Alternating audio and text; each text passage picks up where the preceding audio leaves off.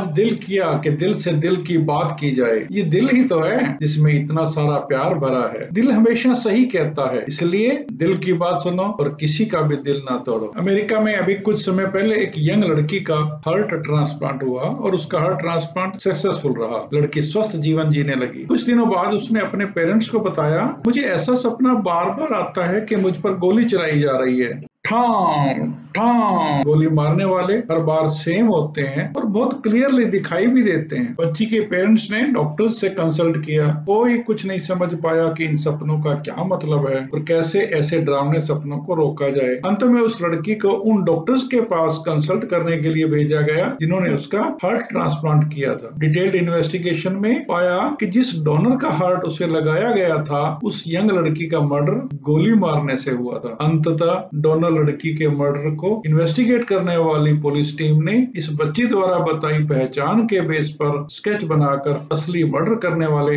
दोनों लोगों को अरेस्ट कर लिया। एक अन्य व्यक्ति ने जिसमें हार्ट ट्रांसप्लांट किया गया था, उसने बताया कि 10 साल पहले हार्ट ट्रांसप्लांट करवाया था। उसके बाद उसकी बहुत सी आदतें बदल गई, जैसे कि सिगार पीने की तलब होने लगी नॉन वेजिटेरियन से वेजिटेरियन खाना खाने की तलब होने लगी। बाद में पता चला कि ये आदतें तो हार्ट डोनर की थी, जो हार्ट के साथ आ गई थी। ऐसी कहानियों से प्रश्न उठते हैं कि क्या हार्ट में मेमोरी होती है? क्या आँखों से देखी हुई ब्रेन द्वारा यादाश्त में संभाली हुई घटनाएँ हार्ट में भी स्टोर हो जाती हैं और फिर दूसरे शरीर के ब्रेन को सपनों के रूप में ट्रांसमिट कर सकते हैं। क्या इंसान की आदतें दिल की मेमोरी में होती हैं जो नई बॉडी से भी वही काम करवाती हैं या चाहत का एहसास करवाती हैं? लेटेस्ट बायोलॉजिकल रिसर्च के हिसाब से हमारे शरीर में 50 ट्रिलियन सेल्स हैं जो इंडिपेंडेंट एंटाइटिस हैं और सेलुलर मेमोरी थ्योरी के हिसाब से सब सेल्स की मेमोरी होती है, हर सेल वाइब्रेशन भेजता है। हमें अभी ये जानकारी है कि दिल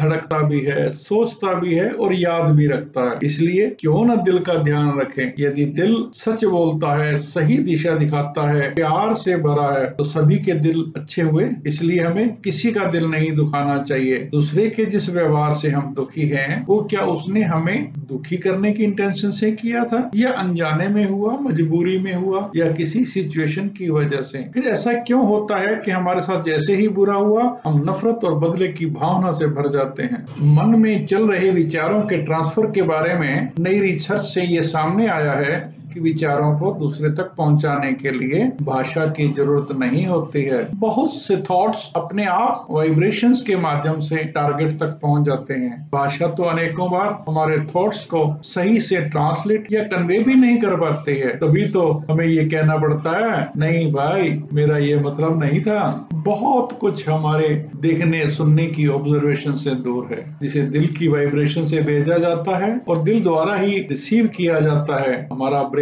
दिल के उन सिग्नल्स को नहीं पकड़ पाता। हमें लगता है कि पता नहीं क्यों ऐसा हो रहा है। इसलिए अक्सर आपने सुना होगा, लोग कहते हैं, बस यूँ ही मन खराब हो गया था बैठे बैठे आज मूड ठीक नहीं है। न जाने मुझे क्या हो जाता है, क्या करूँ? कुछ समझ नहीं आता। या फिर लोग यूँ भी कहते मिलेंगे आज मूड बहुत अच्छा है। चलो कहीं सेलिब्रेट करते हैं। अपना तो दिन है आज। आज तो सब अच्छा ही हो रहा है। हमारे मूड का एकाएक अच्छा हो जाना, इसका एक कारण ये भी हो सकता है कि उस समय कुछ लोग हमारे बारे में अच्छा सोच रहे होंगे, क्योंकि हमने कभी ना कभी उनकी हेल्प ज़रूर की होगी। उनकी पॉजिटिव वाइब्रेशन हम तक पहुँच रही है। जब हमारा मूड खराब होने लगता है तो शायद इससे अपोजिट कुछ हो रहा होता है। इसलिए खुश रहने के लिए और अच्छा महसूस करने के लिए हमें चाहिए कि हम दूसरों की हेल्प करें, अपने कर्मों के अकाउंट में अच्छे कर्मों के क्रेडिट पॉइंट्स बढ़ाएँ, ताकि हमारा मन ज़्यादातर समय अच्छा बना रहे। हमारे मूड का एकाएक अच्छा हो जाना, इसका कारण ये भी हो सकता है कि उस समय कुछ लोग हमारे बारे में अच्छा सोच रहे हैं थैंकफुल हैं, क्योंकि हमने कभी न कभी उनकी हेल्प ज़रूर करी होगी। उनकी पॉजिटिव वाइब्रेशन हम तक ज़रूर पहुँच रही होती है। जब हमारा मूड खराब होने लगता है तो शायद इससे अपोजिट कुछ हुआ होता है। इसलिए खुश रहने के लिए और अच्छा महसूस करने के लिए हमें चाहिए कि हम दूसरों की हेल्प करके अपने कर्मों के अकाउंट में अच्छे कर्मों के क्रेडिट पॉइंट्स बढ़ाएँ, ताकि हमारा मन ज़्यादातर समय अच्छा बना रहे। अच्छे कर्मों का फल अच्छा ही होता है। यदि अच्छे कर्मों का फल हमें रिवार्ड के रूप में नहीं मिला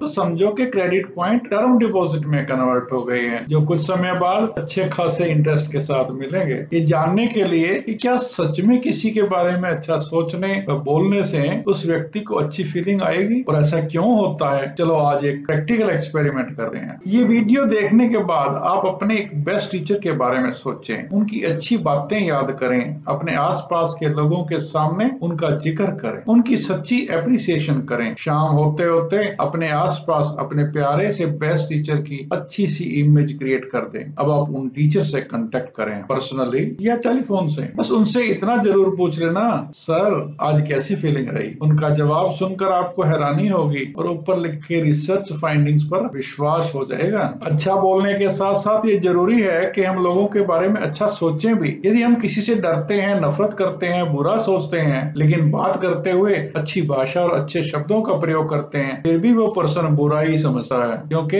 हमारी सोच की वाइब्रेशन उस तक पहुँच रही होती है। इसलिए मनोवैज्ञानिक ये रिकमेंड करते हैं कि हमें दिल और भाषा में सिंक्रोनाइजेशन लाना होगा सिंक करना होगा। मन के विचारों को पॉजिटिव करना होगा। फिर हमारे इंटेंडेड और एक्चुअल इम्पैक्ट में फ़र्क नहीं रहेगा। खुश रहने का एक सिंपल मंत्र है कि आप सोचें अच्छा अच्छा सोचें और अच्छा बोले। फिर भी कोई आपसे बुरा कहता है तो वो उसका इश्यू है। हम कभी भी अपना बिहेवियर अपनी स्वीटनेस को नहीं छोड़े। इसलिए हमने कहा कि दिल की बात ज़रूर सुने। दिल में अपनी सोच व मेमोरी होती है, जिससे वो सही सलाह देता है। हमेशा अपने दिल में पॉजिटिव कंस्ट्रक्टिव और इनोवेटिव आइडियाज़ के विचार लाएँ। अच्छी फीलिंग्स के साथ दिल खुश रहेगा, स्वस्थ रहेगा और हम बहुत सारी साइकोसोमेटिक बीमारियों से बचे रहेंगे। यदि आप ऐसी एजुकेशनल इंफॉर्मेटिव एंड मोटिवेशनल कहानियाँ व जानकारियाँ पसंद करते हैं तो हमारे चैनल डॉक्टर आखा को सब्सक्राइब करें लाइक करें और मित्रों के साथ शेयर करें। Thank you